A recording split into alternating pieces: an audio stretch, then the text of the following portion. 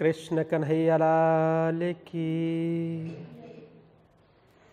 आनन्दकन्दं प्रभुदेवचन्द्रं व्रजेशरूपेण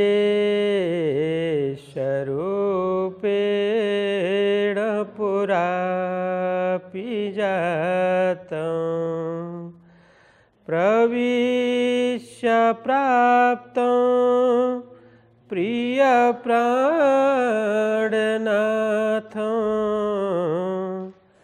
परेशपूर्ण सतत नमामि। ब्रह्मा प्रियाजा गरणाय जात। सर्वस्वपाता भवसिन्धुत्राता। विज्ञानदाता निजधर्मधाता।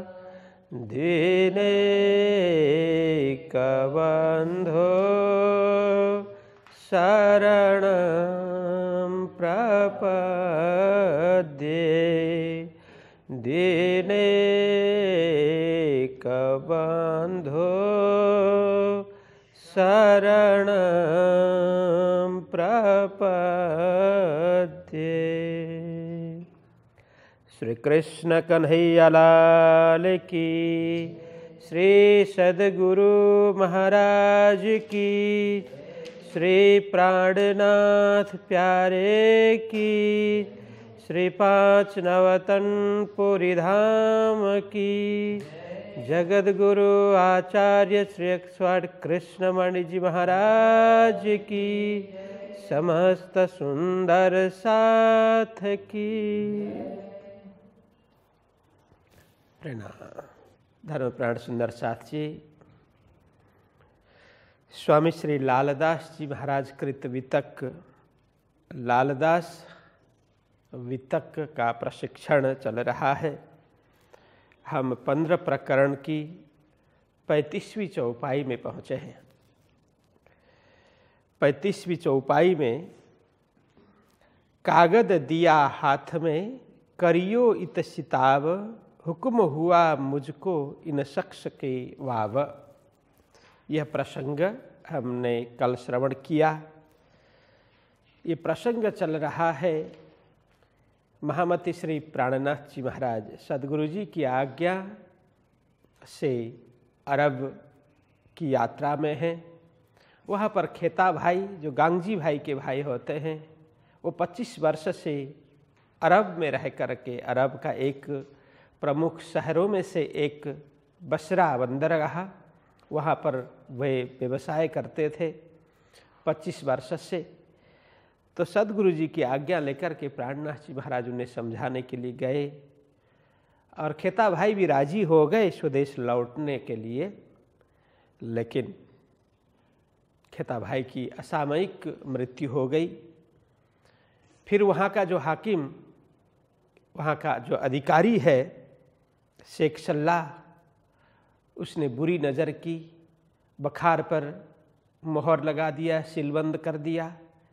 फिर प्राणनाथ जी महाराज को मारने के लिए भी वो तैयार हुआ, उसने योजनाएँ बनाई। प्राणनाथ जी महाराज को जब पता चला, वे वहाँ से निकलते हैं, किसी पहाड़, किसी जंगल में पहुँचते हैं।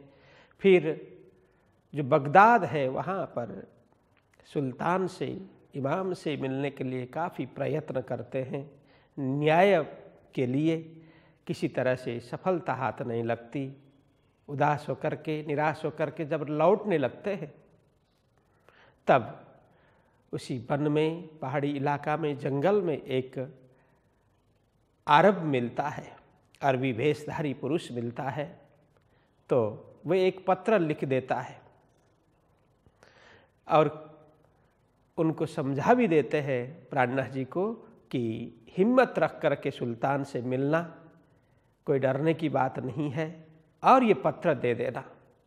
जिस तरह से उस व्यक्ति ने कहा तो उसी तरह से प्राणनाथ जी महाराज सुल्तान से मिलते हैं जुम्मे के दिन, जब नमाज़ अदा करने के लिए सुल्तान मस्जिद की ओर जा रहा होता है बादशाह। उस समय दामन झटक करके प्राणनाथ जी महाराज उनसे मिलते हैं, अपनी चर्चा, अपनी बात को रखते हैं। दूसरे दिन न्याय के लिए बुलाता है बादशाह।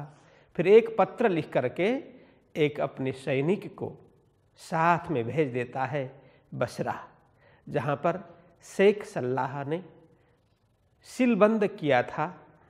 सख्त शब्दों में बादशाह पत्र लिख देता है, यदि मेरी आज्ञा का उल्लंघन किया, ये पत्र पढ़ते ही यदि इन, इनके जो हक का है हिंदुस्तानी का जो हक का है, अधिकार का है इनके सारे सामान, सारी संपत्ति, सारी वस्तु यदि न लौटाया तो मैं तुम्हें जान से मार डालूँगा, जड़ मूल से उखाड़ फेंकूँगा, ऐसा सख्त आदेश दे करके जब सैनिक को बादशाह ने भेजा, वो सैनिक आकर के बसरा का जो हाकिम है, अधिकारी, शेख सल्लाह तो उसको पत्र देते हुए ये कहते हैं, यहाँ तक का प्रसंग हमने कल श्रवण कर लिया।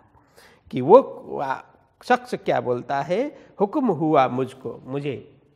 बादशाह ने, सुल्तान ने सख्त आदेश दिया है।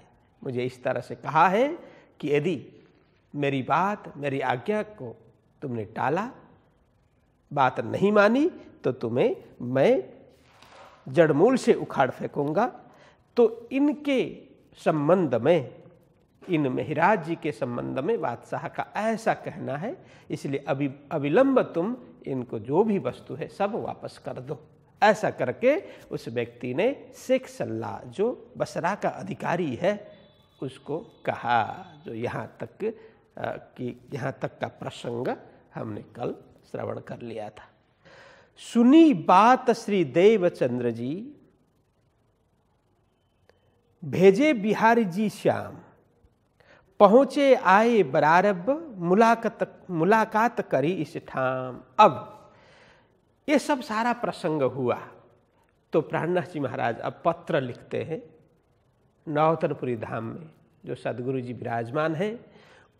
उन्हें पत्र लिखते हैं कि जो भी घटना घटी, अरब गए, उससे पहले भी पत्र तो लिखा ही होगा, क्योंकि काफ़ी समय हो गया है।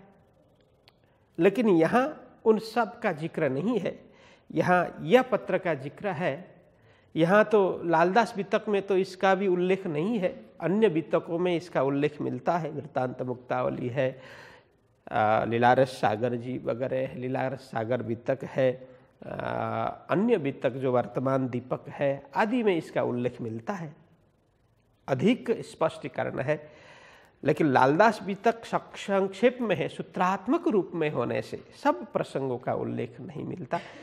लेकिन प्राणनाथ जी महाराज वहाँ से पत्र लिखते हैं कि किस तरह से खेता भाई ने शरीर छोड़ा, उसके बाद में क्या कुछ घटना घटी, कितना परिश्रम उन्हें करना पड़ा क्या क्या अवरोध आ गए, किस तरह से उन्होंने बादशाह से मुलाकात की, बादशाह ने किस प्रकार से न्याय का पत्र प्रेषित किया और न्याय दिलवाया, ये सारा प्रसंग लिख करके सदगुरु जी के नाम पर जब प्राणनाथ जी महाराज भेजते हैं, जैसे ही नौतनपुरी धाम में सदगुरु जी को पता चलता है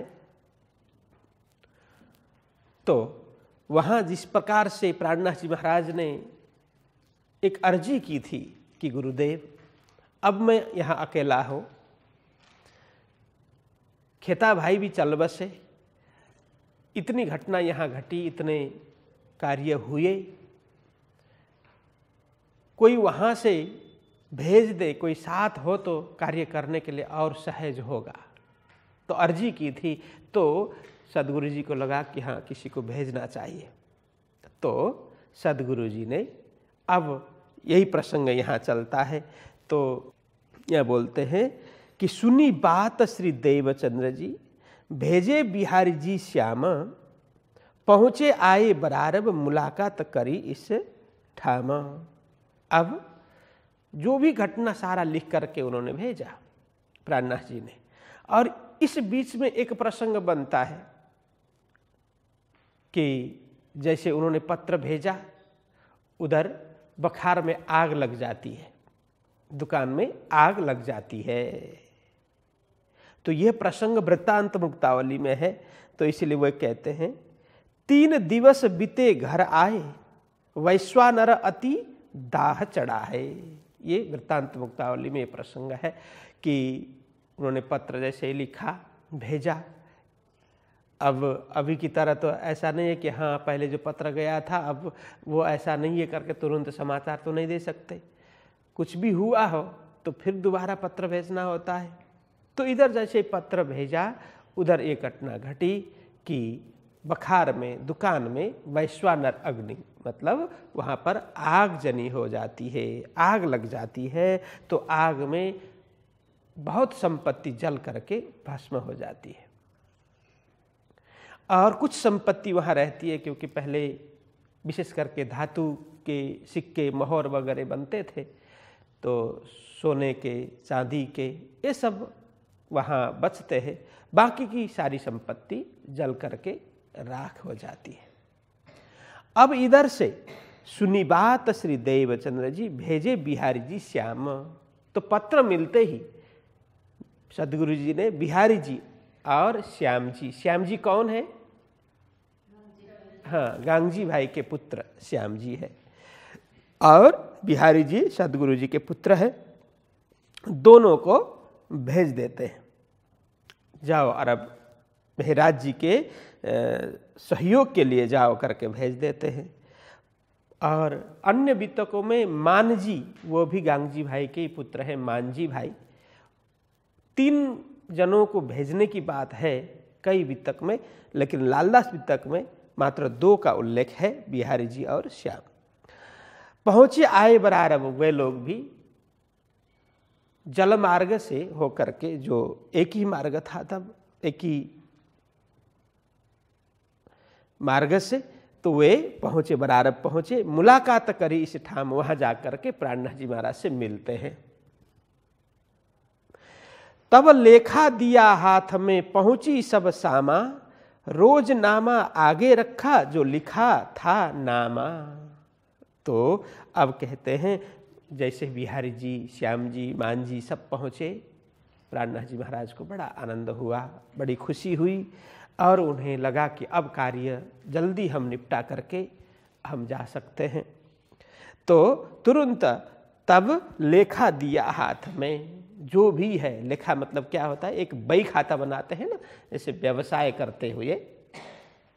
आज कितना व्यापार हुआ कितना आय हुआ, कितना व्यय हुआ, वो सब आय व्यय का ब्यौरा जिसमें सारा लिखते हैं, वो लेखा संपूर्ण बिहारी जी, श्याम जी, मान जी इन लोगों के सामने प्रस्तुत कर देते हैं पेश कर देते हैं। आप लोग सारा ये देख लो। और बाकी जो भी संपत्ति है, बाहर से एकत्रित करना भी कुछ बाकी है, कुछ यहाँ पड़ी हुई है और अधिकांश तो जल करके राख हुई है। उन्होंने संपूर्ण वृत्तांत उनके समक्ष प्रस्तुत कर दिया और लेखा भी उन्हें, बही खाता भी उनके हाथ में दे दिया। पहुँची सब सामा, जो सामग्री पहुँच रही है बाहर से, क्योंकि व्यापार दूर दूर तक फैला हुआ था। कोई वस्तु देने वाले होते हैं, कोई पैसे देने वाले होते हैं। तो जो, जिनसे जो भी अनुप्राप्त करना है, वो धीरे धीरे कोई आकर के दे रहे हैं और कोई भेज रहे इस तरह से संपूर्ण सामग्री जो बाहर से आई है, जो एकत्रित अभी तक हुई है, वो भी बिहारी जी, श्याम जी आदि के हाथों में सौंप दिया। रोजनामा आगे रखे, प्रतिदिन का हिसाब किताब, रोज रोज मतलब प्रतिदिन प्रतिदिन का हिसाब किताब। सुबह से शाम तक कितना गया, कितना आया, वो सारा वस्तु के साथ में, मूल्य के साथ में सारा लिखते हैं ना प्रतिदिन। हाँ वो रोजनामा। वो सब भी आगे रख दिया। जो लिखा था नामा, जिसमें जो बई खाता में जो कुछ लिखा था, वो संपूर्ण बिहारी जी, श्याम जी, मान जी के हाथ में सौंप देते हैं। कि आप लोग यहाँ बैठ करके सारा हिसाब किताब कर लो। और मैं बाहर घूम करके जहाँ जहाँ से वो तो अलग अलग लोगों को दिया है तो उसको हाँ। तो एकत्रित मैं करूँगा, आप लोग यहाँ बैठ करके सारा हिसाब किताब कर लेना। करके सारा प्राणनाथ जी महाराज बिहारी जी श्याम जी मान जी को दे देते हैं। सब मेहनत अपनी कर दिखाई बात, पर इनों का कुफर क्यों करना जाता। बस। अब प्राणनाथ जी महाराज ने उनके सामने सब अपनी अभी तक किस तरह से मेहनत की, वो सब स्पष्ट बताया। वहाँ से आने के बाद खेताबाई से मिलना किस तरह से हुआ उनको समझाना किस तरह से हुआ वह भी सम, समझ करके राज़ी हुए थे लौटने के लिए। लेकिन बीच में ये घटना घटी और शेख सल्लाह ने किस तरह से बुरी नज़र की उससे किस तरह से जान बचा करके भागे और सुल्तान से किस तरह से मिलना हुआ सुल्तान ने किस तरह से न्याय किया ये सारा वृतांत प्राणनाथ जी महाराज सुनाते हैं। किस तरह से परिश्रम वहाँ किया उन्होंने। ये सारा उन्हें बताते सब मेहनत, अपनी कर दिखाई बात। स्पष्ट उन्होंने अपनी मेहनत के विषय में भी उन्होंने बताया। परंतु परंतु, पर इनों का कुफर अब बिहारी जी के हृदय में कुफर है, दुष्टता ही है। है ना? तो पर इनों का कुफर क्यों करना जाता? देखिए, दुष्ट की दुष्टताई कभी निकलती नहीं है। किसी भी तरह से। वो कुछ देर के लिए अच्छा भी बने, कुछ दिन के लिए अच्छा भी दिखे, लेकिन मौका मिलते ही दुष्ट अपनी दुष्टताएँ दिखाई ही देता, दुष्टताएँ कर ही डालता है। तो ऐसे प्राणनाथ जी महाराज ने इतना परिश्रम किया, लेकिन दुष्ट प्रवृत्ति के बिहारी जी के दिल में ऐसा और श्याम जी सारे जो सब मिल गए कि उन्हें क्या लगा? कि इन्होंने संपत्ति तो अपने जब्त कर ली होगी, कुछ छुपा करके रखी होगी। और हम जा कर के सदगुरु जी को और कुछ बात कर देंगे, क्योंकि महराज महराज महराज करते हैं सदगुरु जी और इनके विषय में उल्टी बात करके सदगुरु जी से अलग ही हम इनको दूर ही कर देंगे। ऐसा उनके मन में कुफर जग गया। मतलब कपट भाव, उनके अंदर कुफर का मतलब कपट भाव, दुष्टताएँ। ये पर इनो का कुफर क्यों ना जात? कपट, पाप, दुष्टताई। एक अब इनके हृदय से कभी नहीं गया। क्यों ये करना जाता? इसलिए इसलिए कहते हैं कि दुर्जन से तो सर्प अच्छा है। है ना? दुर्जन से, दुर्जन व्यक्ति से सर्प अच्छा है। क्यों? क्योंकि सर्प तो एक बार समय पा करके दंश मारता है, काटता है। लेकिन दुर्जन दुर्जन है पद पद में, पग पग में वो डंक मारता है। इसलिए न्याय में ऐसे नीति में कहते हैं दुर्जनेशु च सर्पेशु वरम सर्पो न दुर्जन, सर्पो दनसती ही काले न दुर्जनस्तु पदे पदे। मतलब दुर्जनेशु च सर्पेशु दुर्जन और सर्पों में सर्पश्रेष्ठ है। न कि दुर्जन। क्यों? क्योंकि सर्पो दंसति काले न सर्प तो किसी समय में डस लेता है। दुर्जनस्तु पदे पदे। दुर्जन तो एक एक पद पद में मौका मिलते ही दुर्जन नुकसान पहुंचाता है। इसलिए दुर्जन से तो सर्प बहुत अच्छा है।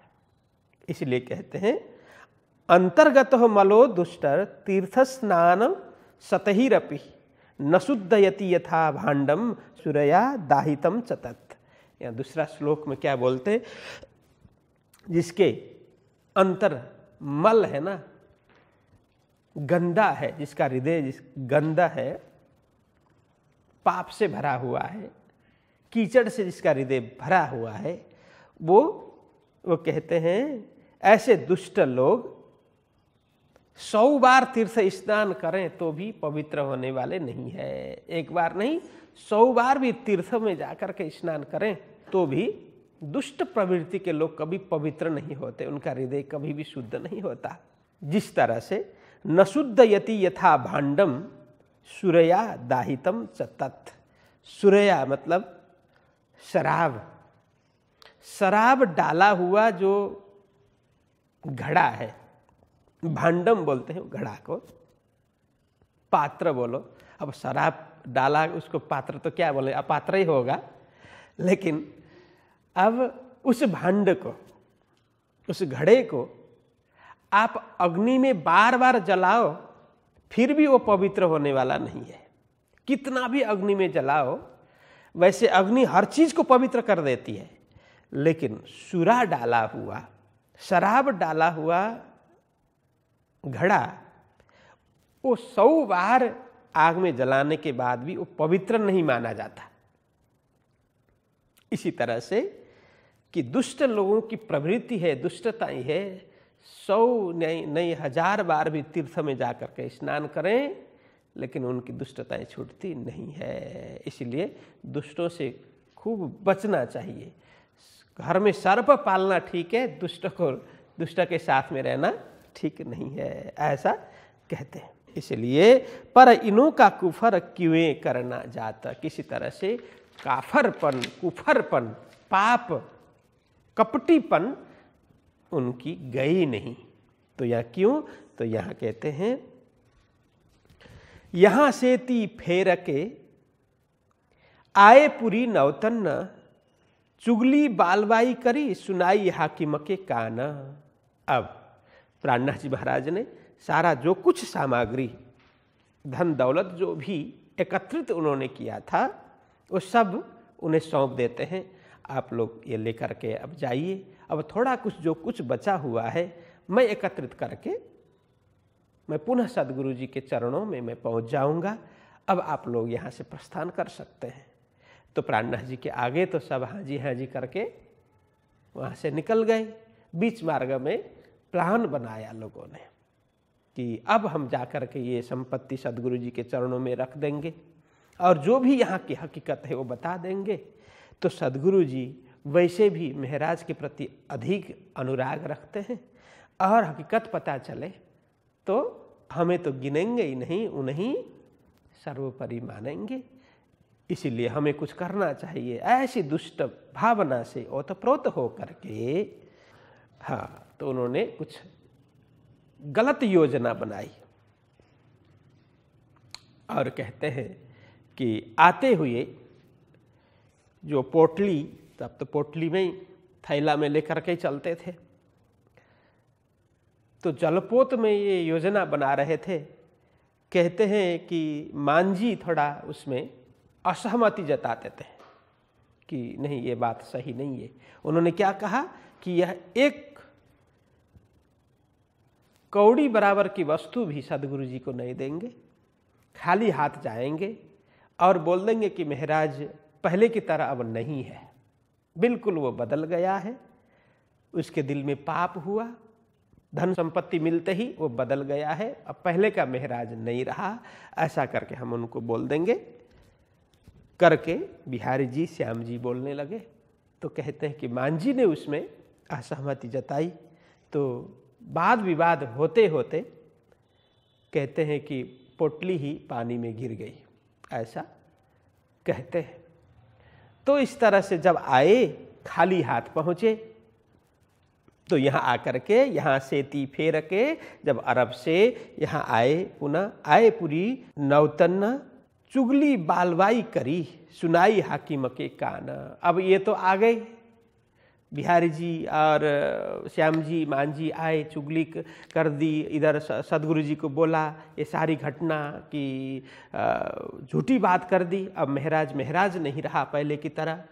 उन्होंने संपत्ति तो अपने पास रखी, हमें कुछ भी कुछ भी नहीं दिया। बस व्यर्थ परिश्रम हुआ, जाने का कोई फ़ायदा नहीं हुआ।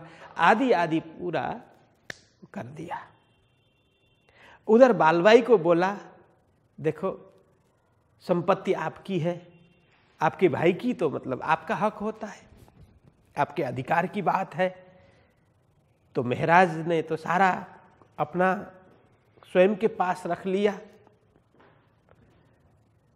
तो बालवाई को भी उकसाया सदगुरु जी को भी बोला, अब सदगुरु जी पूरा विश्वास तो नहीं कर रहे थे कि देखिए, अब बिहारी जी का स्वभाव उन्हें पता था, स्वभाव से परिचित थे श्याम जी मांझी के स्वभाव से परिचित थे।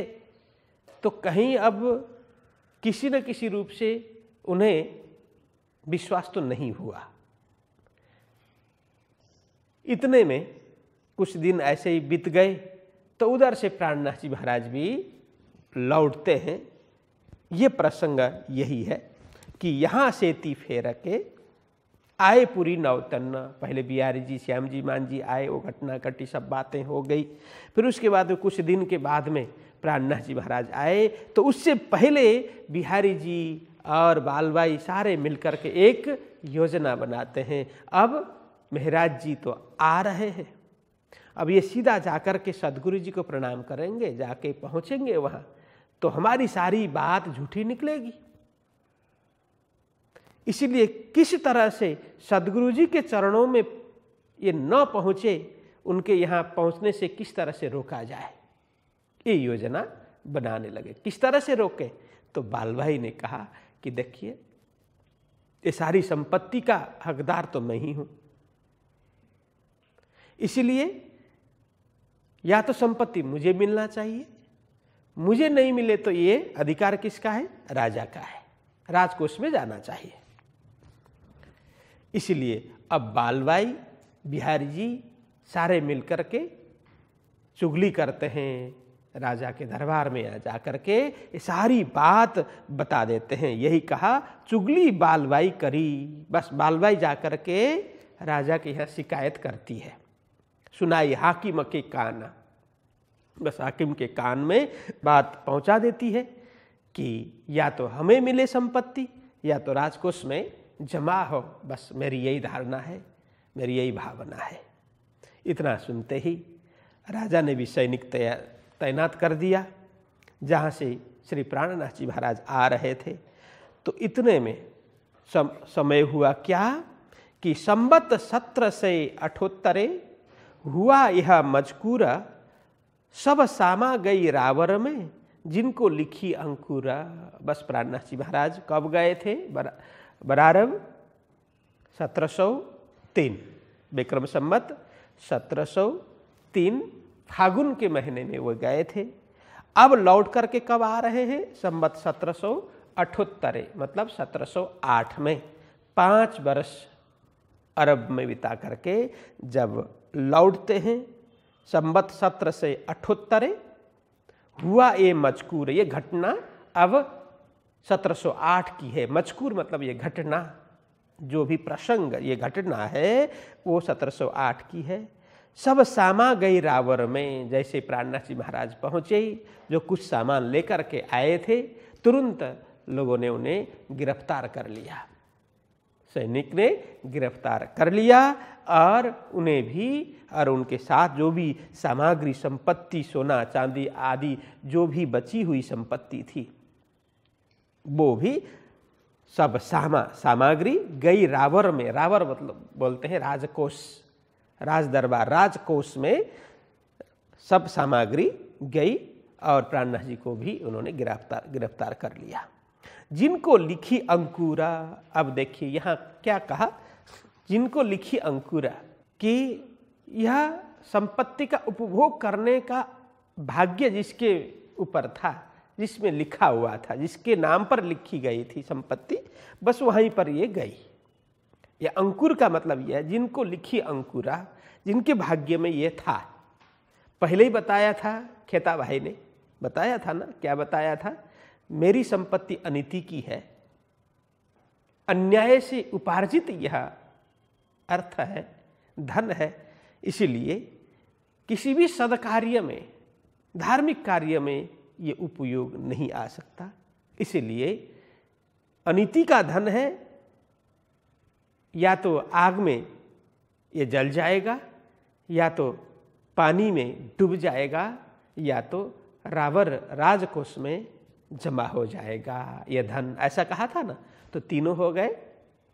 एक तो बखार में आग लग गई, दूसरा आते हुए बिहारी जी, श्याम जी, मान जी आते हुए, लेकर के आते हुए पानी में डूब गया। तीसरा राजकोष में जमा हो गया। तो इस तरह से जिसके नाम पर लिखी गई थी, इसीलिए हमारे जीवन में भी ऐसा ही होता है। जो भाग में होता है, वो दौड़ करके भी आएगा। और जो नहीं होता है, अपने पास होता हुआ दिखे तो भी दौड़ करके निकल जाएगा, भाग जाएगा। इसलिए बहुत चिंता करने की आवश्यकता नहीं है। कर्म अच्छा करते रहें। जो मिलना हो, वो मिलेगा ही। जो नहीं मिलना हो, वो मिलने वाला नहीं है। इसलिए बस परमात्मा के चरणों में पूर्ण रूप से निष्ठा रख करके जो देना है, वही देने वाले हैं। जो लेने वा, लेना है, वही लेने वाले हैं। इसलिए फ़िक्र नहीं करके बस कर्म करते रहें। यही कहा, जिनको लिखी अंकुर जो जहाँ जिसके भाग्य में था जिसका संबंध जहाँ से था, बस वहीं वो पहुँच गया धन, इस तरह से। तो अब यहाँ यहाँ से ती फेर के गए कलाजी पाश, तहाँ जाए रोज़गार की दिल में राखी आशा। बस कलाजी के पास में गए ध्रोल में, कहाँ से? जामनगर से, और तहाँ जाए रोज़गार की, नौकरी की, रोज़गार मतलब नौकरी की दिल में राखी आश हृदय में मन में यह विश्वास लेकर के, आस लेकर के हाँ मैं कलाजी के पास उनके, उनसे उनका अच्छा संबंध था। जब भी यहाँ, पहले भी तो उन्होंने वो दीवान परिवार के ही थे और उन, उनसे अच्छा संबंध था अच्छा परिचय था तो उनको लगा कि हाँ वहाँ जाऊँगा तो वो मुझे अच्छा सम्मान भी देंगे, कोई ज़िम्मेदारी भी देंगे। तो गए कलाजी के पास, गए तहाँ जाए रोज़गार की दिल में राखी आस। कलाजी के पास रहे बरस दोय या उपरांत गुजरात आठ महीने रहे सोए। तो इस तरह से कलाजी के पास में जाकर के जो भी उन्होंने मांग की, कलाजी भी बड़ा प्रसन्न हुआ। ऐसे मेहराज शरीक है ऐसे योग्य व्यक्ति अपने राज्य में मिले किसी दीवान के पद पर तो और उसको क्या चाहिए था? तुरंत उसने कार्यभार सौंप दिया। प्राणनाथ जी को तो प्राणनाथ जी भी बड़े निष्ठा के साथ में दो वर्ष तक कलाजी के राज्य, जो ध्रोल में दीवान पद में रह करके कार्य करते हैं। या उपरांत गुजरात, अब वहाँ कलाजी के ही कार्य को लेकर के, क्योंकि तब अहमदाबाद मुगलों का शासन था वहाँ पर तो अहमदाबाद में टैक्स भरने के लिए ध्रोल की ओर से टैक्स भरने के लिए प्राणनाथ महाराज अहमदाबाद जाते हैं। आठ महीने तक अहमदाबाद में रहते हैं। या उपरांत गुजरात, या गुजरात का मतलब अहमदाबाद। आठ महीने रहे, सोए आठ महीना पर्यंत वहाँ जा कर के कार्य करते हैं। फिर आए गुजरात से कलापे मागी बख्शीस, संबत सत्र से बारोत्तरे अब मैं पाऊँ सीख। अब अहमदाबाद गए वहाँ से लौट करके उनको लगा कि अब मुझे यहाँ ऐसा कार्य नहीं करना चाहिए। क्योंकि अहमदाबाद में जो शासक था, वैसे तो अहमदाबाद भी स्वतंत्र था नहीं, वहाँ दिल्ली से शासन चलता था। तब औरंगज़ेब बादशाह बादशाह बना था तो उसका ही शासन चलता था अहमदाबाद में भी। तो यहाँ से अहमदाबाद टैक्स भरना होता था, फिर अहमदाबाद से दिल्ली टैक्स जाता था। तो प्राणनाथ जी को लगा कि हिंदू के प्रति जो दुर्भावना है मुसलमानों के दिल में, ये उनको पता चला अहमदाबाद जाकर के आठ महीने बैठने के बाद। उनको लगा कि अब ऐसा माया का कार्य करते हुए, उनको नमन करते हुए मुसलमानों से झुक करके हमें नहीं रहना चाहिए। अब मैं स्वतंत्र होकर के बाहर निकलूँगा, मैं किसी की नौकरी नहीं करूँगा, ऐसा उनको लगा तो आकर के कला पे मांगी बख्शीश, बस कला कला जी, जो ध्रोल का, जो प्रमुख अब राजा कहें वैसे ध्रोल अलग ही राज्य हुआ करता था तो राजा ही कह सकते हैं। तो उससे बख्शिश मांगी। अब बख्शिश तो होता है अभी की भाषा में बख्शिश का मतलब होता है पुरस्कार मांगना, उपहार मांगना। कोई खुश होता है तो उसको बख्शिश बख्शिश दे देते हैं ना। लेकिन ये प्राणनाथ जी ने बख्शिश उपहार मांगा, ऐसा तो थोड़ा, थोड़ी बात अटपटी लगती है। तो इसको इस तरह से भी अर्थ कर सकते हैं। कि प्राणनाथ जी के ऊपर वो बड़ा प्रसन्न तो था ही, पूर्ण रूप से विश्वास करता था। तो प्राणनाथ जी ने उनसे विदा मांगी और उन्होंने कहा, हो, कि यदि मेरे काम से आप संतुष्ट हैं तो मुझे आशीर्वाद दीजिए।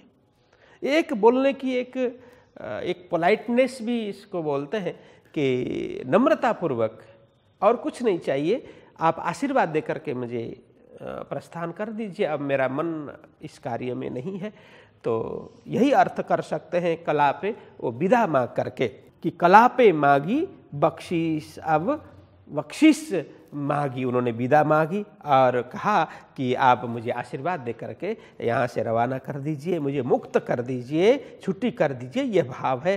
संबत सत्र से बारोत्तरे अब मैं पाऊँ सीखा। मैं इसीलिए अब उसने पूछा कला जी ने कि क्यों अब तुम मुक्त होना चाहते हो, छुट्टी क्यों लेना चाहते हो?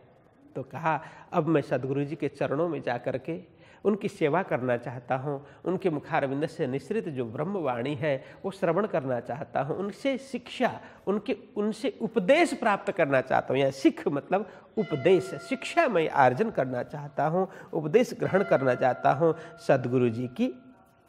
तो क्या कहते हैं कि अब मोसो दुनिया का होए नहीं व्यवहार, एक दिल एकांत में सेवो धनी निर्धार। अब मेरे से ये दुनियादारी का कार्य नहीं हो रहा है, मेरा हृदय इसमें नहीं है, मेरा मन यह कार्य करने करने में नहीं है, होए नहीं व्यवहार। अब कार्य व्यवहार मेरे से हो नहीं रहा है, मेरा मन नहीं है, एक दिल एकांत में, मेरा दिल क्या है?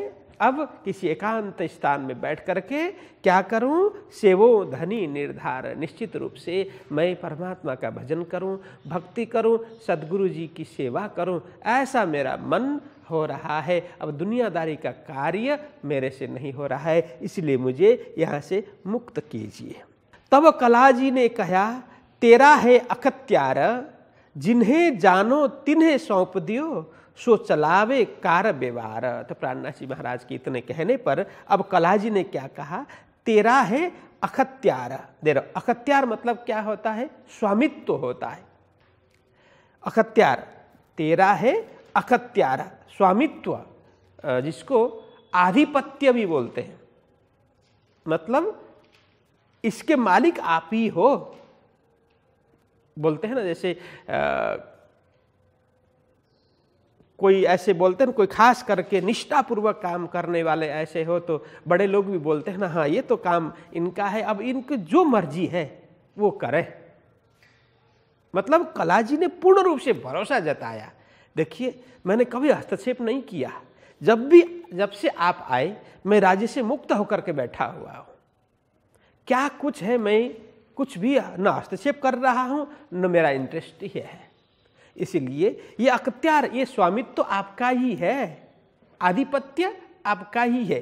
यह कहने का मतलब अब सब अधिकार आपके ऊपर मैंने दिया है। आप सामर्थ्यशाली है। अतः क्या करो कि जिन्हें जानो तिन्हें सौंप दियो। अब आप जिसको योग्य मानो, मैं आपको हठात ऐसे भी नहीं बोलूँगा कि आपको रहना ही है, करना ही है। आपकी भावना का मैं कदर करता हूँ, लेकिन आप इसमें सर्वतंत्र, स्वतंत्र हैं। जिनको योग्य मानो, जिनको योग्य जानो, आप अपने हिसाब से नियुक्त कर दो। यह बोलते जिन्हें जानो, तिन्हें सौंप दो जिन्हें योग्य जानो, उनको आप सौंप दो। सो चलावे कार्य विहार आपने जिसको योग्य मान करके, जान करके नियुक्त कर दिया, मुझे विश्वास है वो योग्य ढंग से, अच्छी तरह से ये कार्य व्यवहार चला पाएगा। इसलिए और कुछ नहीं मैं जानता, आप अपने उत्तराधिकारी तैयार कर दो। ऐसा करके कलाजी प्राणनाथ जी महाराज को बोलता है। बस आज यही रखते हैं। तो कल से थोड़ा दूसरा प्रसंग इसी के साथ में ही है वैसे। तो इस तरह से कला जी ने प्राणनाथ जी महाराज को कहा, आप जिसको योग्य मानो, उसको इस कार्य के लिए नियुक्त कर दो और आप आराम से मुक्त होकर के यहाँ से छुट्टी लेकर के जा सकते हैं। तो इस तरह से भरोसा किया, बात की और आगे क्या कुछ होता है हम कल के प्रसंग में श्रवण करते हैं। आज के लिए इतना ही। बोलो, कृष्ण कन्हैया लाल की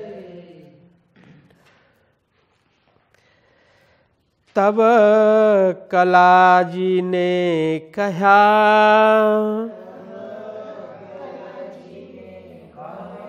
तेरा है अखत्यार।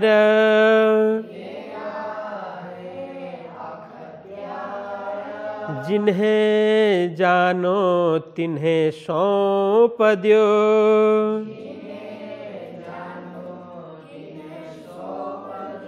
सो चलावे कार व्यवहार सो चलावे कार व्यवहार सो चलावे कार व्यवहार